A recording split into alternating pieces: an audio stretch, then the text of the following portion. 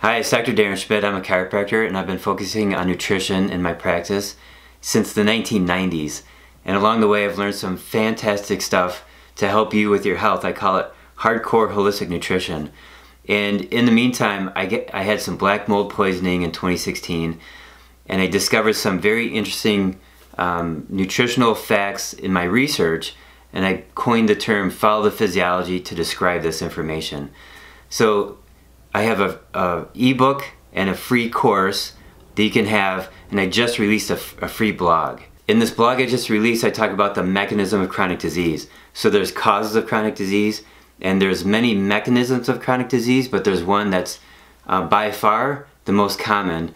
And then the third step of healing from chronic illness is feeding your organs to get rid of symptoms.